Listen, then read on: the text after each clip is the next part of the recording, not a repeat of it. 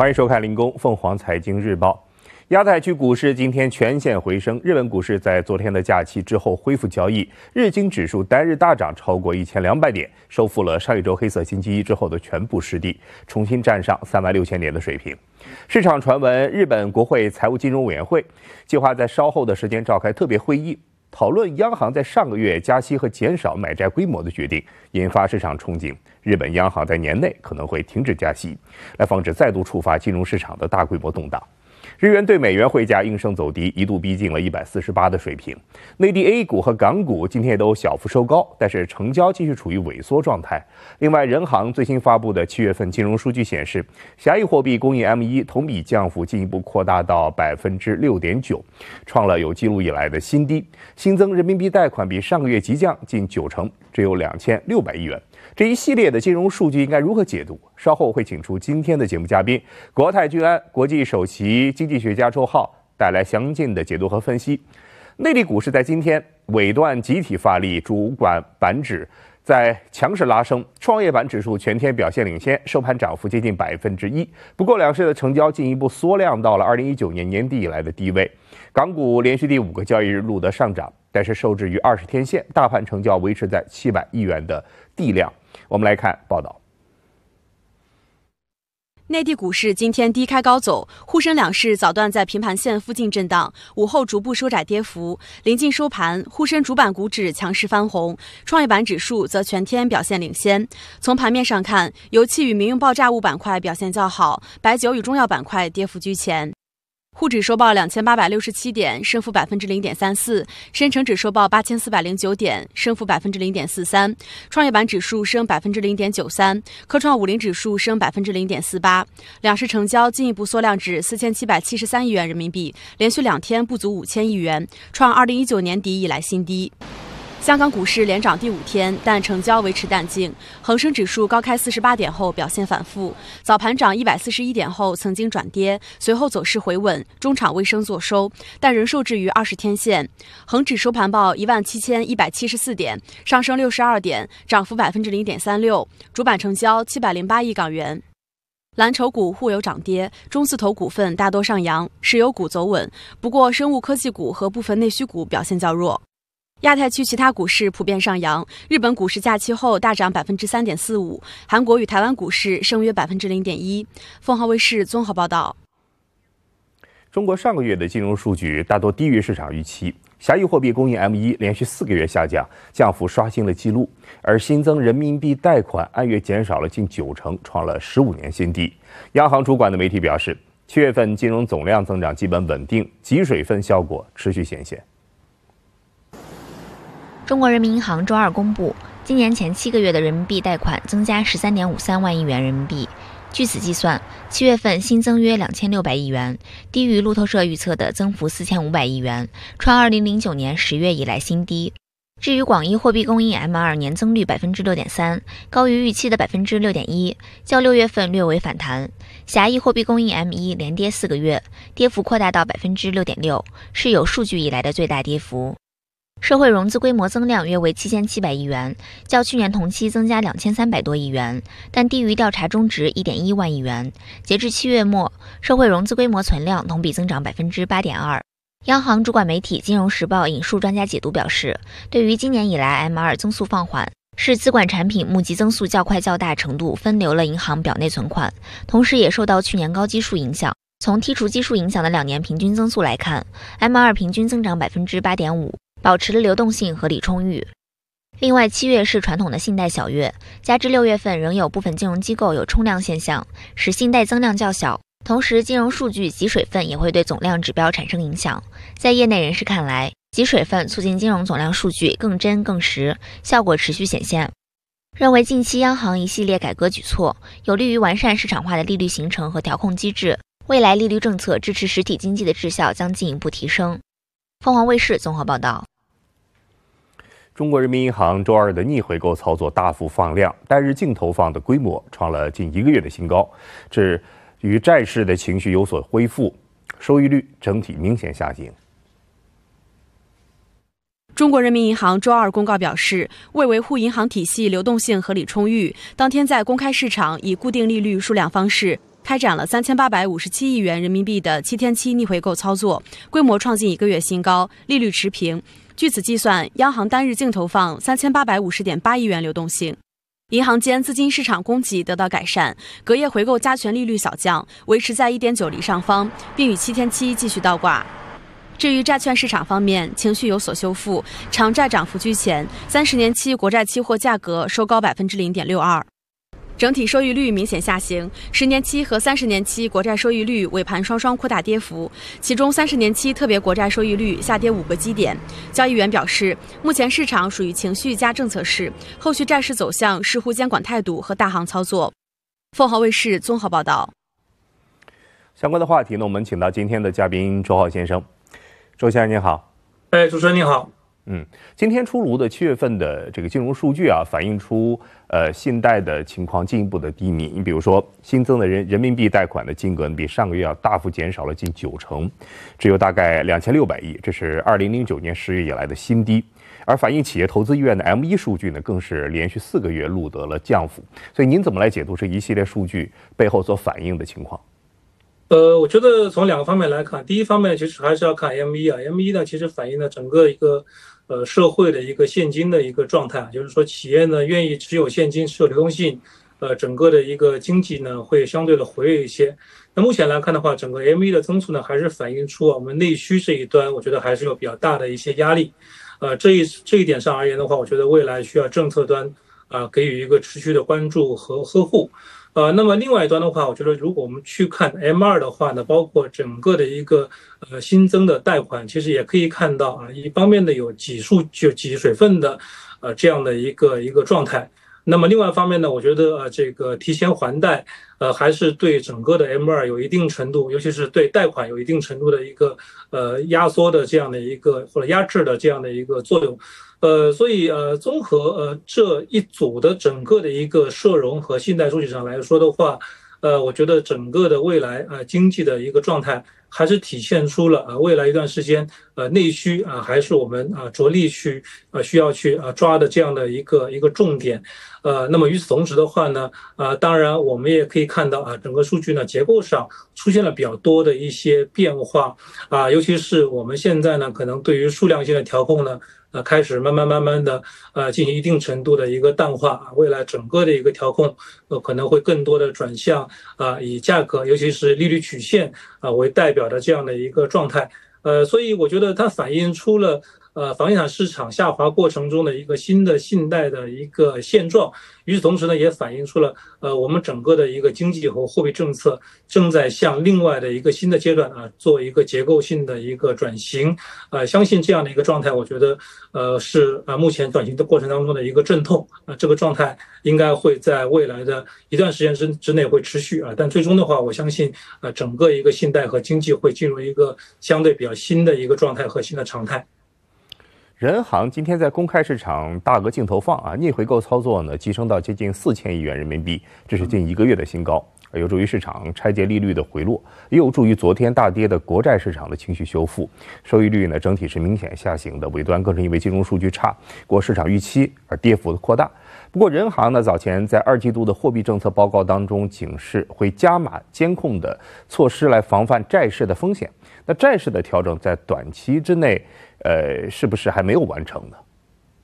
呃，其实呢，我觉得大家要最终明白的一个最根本的道理就是说，呃，关于债市的调整，其实啊，整个央行调控的目标是希望我们整个的利率曲线相对比较正常啊。因为如果利率曲线倒挂的话呢，其实会对金融机构产生呃更大的一些啊中长期的压力啊。比如说我们看到这个美国的硅谷银行的呃这样的一个案例啊，就是说啊，当我过度的去投机啊长端的利率，一旦出现这个利率的扰动的话，呃可能会带来整个金融系统的这样的一个一个问题。呃，所以我觉得从这个角度上来说的话，今天的镜头放呢是对啊昨天的啊整个利率的利率的大幅的上行的一个呵护，也表明了就是说其实流动性呢不是。最大的问题啊，最大的问题可能还是在于啊整个债券市场的一个交易和投机的啊这样的一些行为。呃，与此同时的话，我觉得呃央行的呃整个的一个调控的目标目标，就像我刚刚提出的，其实呢。是一个从数量型向价格型啊，慢慢慢过渡的这样的一个过程。那这个过程当中呢，第一个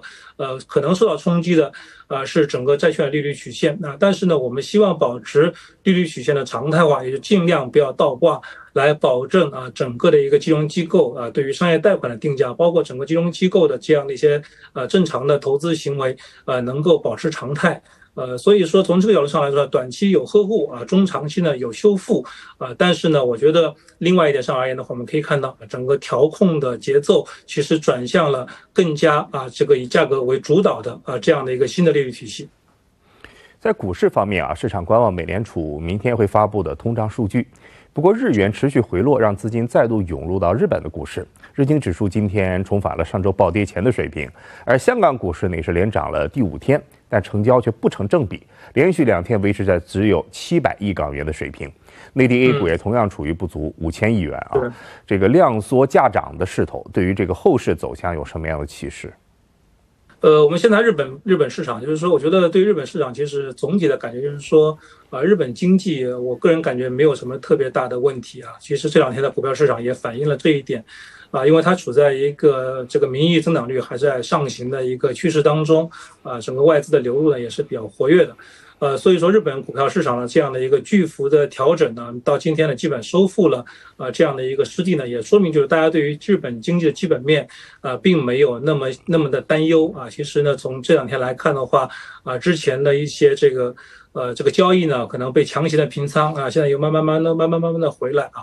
呃，那么呃，从港股和 A 股来看的话呢，其实我觉得港股的表现呢更加稳健一些啊，就是今天可以看到，基本上稳在了一万七千点这样的一个比较关键的位置。呃，那么另外一点上而言的话，就是呃，虽然量是有萎缩啊，但是呢，整个技术形态上保持的还是非常的这个不错的，呃，整个底部呢还是比较明晰的这样的一个状态。所以我觉得，呃，从这个角度上来说呢，港股的整个的趋势啊，应该比呃 A 股呃更加的这个理性一些，或者说呃更加乐观一些。呃，那么 A 股呢，目前这段时间呢还是。呃，受到了整个的一个情绪面的这样的一些压制啊，呃，那么呃，对于 A 股而言的话，可能有一些这个由于出于监管方面的原因啊，整个量现在还是。啊，不是特别的这个高，呃，但是呢，总体上而言，我可以，我们也可以看到，A 股呢，基本上，呃，还是维持了一个窄幅震荡的这样的一个状态，呃，所以说，呃，从 A 股的形态上而言的话，呃，它还是需要，呃，未来的整个的，呃，经济和政策啊，有进一步的这样的一个啊向上的脉冲啊，所以说，我觉得从这个角度上而言的话，A 股也处在一个蓄势的过程当中，呃，那么总结而言的话，还是可以看到。啊，日本的股票市场啊，其实目前而言，呃，整个的压力呢，啊，出出现了比较明显的释放。呃，A 股和港股呢，啊，相对而言，港股这个筑底回升的态势比较明显。那么 A 股处于一个蓄势的这样的一个状态之中。谢谢周浩先生的解读。国际指数编制公司 MSCI 名胜公布最新的季度检讨结果，中资股份在新兴市场指数的权重略有下调。本次调整呢，会在八月三十号收盘之后生效。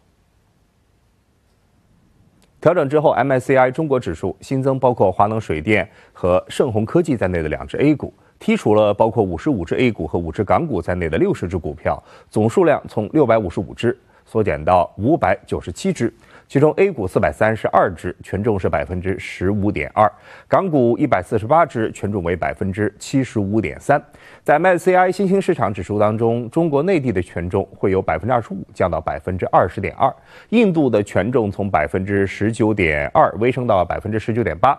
台股的权重是由百分之十九点三三下调到百分之十九点零一。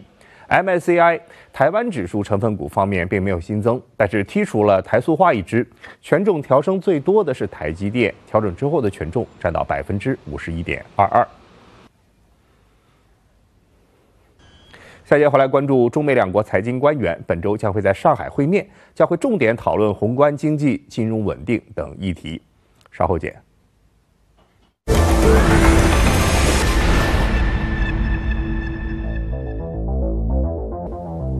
市场观望美国通胀数据，以判断美联储的降息步伐。欧洲股市目前走势缺乏方向，英国和法国股市偏软，边缘国家市场则是靠稳。我们再来回顾一下昨夜美股收盘的数据，投资者观望本周晚些时候将公布的美国七月份的通胀数据，来评估美联储九月降息的概率。美股三大指数在周一走出了分化的行情，道指中场下跌过百点，科技股则表现向好，英伟达收涨超过百分之四。